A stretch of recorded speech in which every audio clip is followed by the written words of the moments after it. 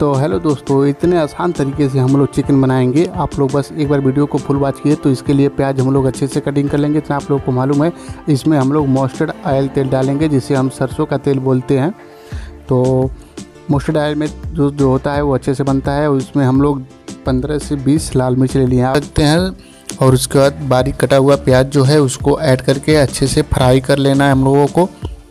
तो इसको ऐड करने के बाद अच्छे से फ्राई करेंगे। उसके साथ ही हम लोग लहसुन और अदरक का पेस्ट जो है, इसमें देखिए ऐड कर लिए हैं और इसे अच्छे से मिक्स कर लेंगे।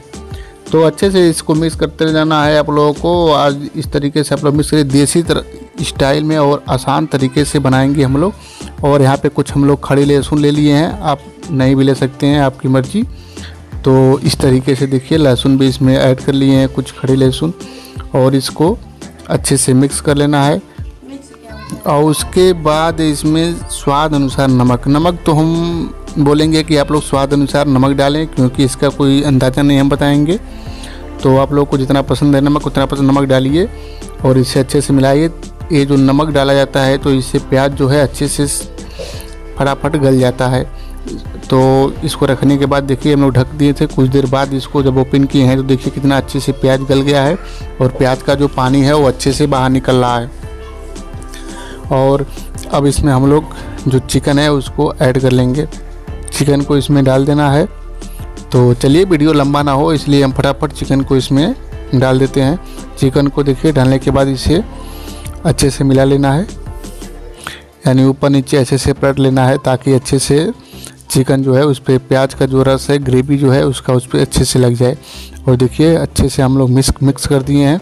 मिक्स करने के बाद इस तरीके से और हम इसे ढक कर छोड़ देंगे। पाँच या दस मिनट के लिए ढक के छोड़ देंगे। अभी देखिए, जो चिकन था वो पानी छोड़ दिया है।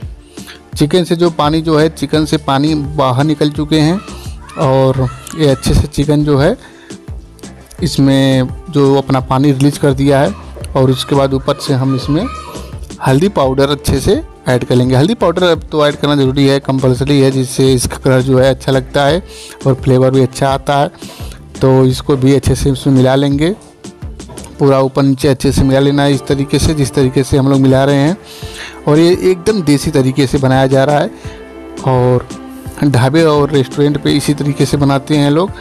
तो देखिए, कुछ देर बाद देखिए कितना अच्छे से जो चिकन है, इसका पूरा पानी रिलीज़ हो गया है। तो इसमें हम एक या दो पैकेट जो है गरम मसाला यानी मीट मसाला ऐड कर लेंगे। तो अच्छे से देखिए, इसको भी मिला लेना है। इसको मिलाने के बाद थोड़ी देर के लिए भटक देना है, केवल पाँच मिनट के लिए ढक देना है। उसके बाद ये ही जो है हमारा सीक्रेट मसाला है, जो कि साबुत खड़ा गरम मसाले को बारीक पीसा गया है। तो ये बारीक पीस लिया गया है और इसको अच्छे से मिला लेना है। आवश्यकता अनुसार ही डालें, कृपया ज़्यादा ना डालें और इस तरीके से अब इसको चला दें। अब आपका जो चिकन है, वो 50 से 60 परसेंट तक पक गया है। भूनते भूनते ही पचास साठ परसेंट पक गया है आपका मीट। तो इस तरीके से इसको हम अच्छे से ढक देंगे और फिर मिलेंगे कुछ देर बाद। और देखिए, ये मसाला जो है अच्छे से पक गया है।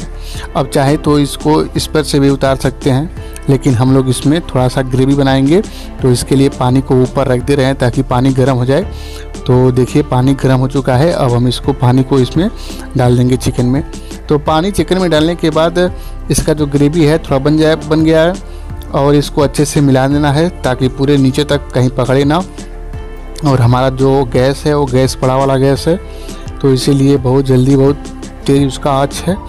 तो आप नॉर्मल आँच से भी चला सकते हैं इसमें कोई दिक्कत नहीं है। और इस तरीके से इसको अच्छे से ऊपर से नीचे मिला लेना है। देखिए कितना बड़ा बड़ा बुलबुला इसका आना स्टार्ट हो गया है। तो अब सीधे मिलते हैं ढक के छोड़ देंगे। मिलेंगे सीधे। बन जाने के बाद देखिए इतना अच्छा तरीके से बन गया है। और देखिए जो चिकन है अच्छे से गल गया है। चिकन इतना अच्छा शानदार गल गया है कि आप एक बार बनाकर तो देखिए, ट्राई करके देखिए, एक बार ट्राई करने में कुछ नहीं जाता है। तो ट्राई कर लीजिए और चैनल पर नए हैं तो चैनल को सब्सक्राइब ज़रूर कर लें, साथ में घंटी वाले बटन को दबा दें।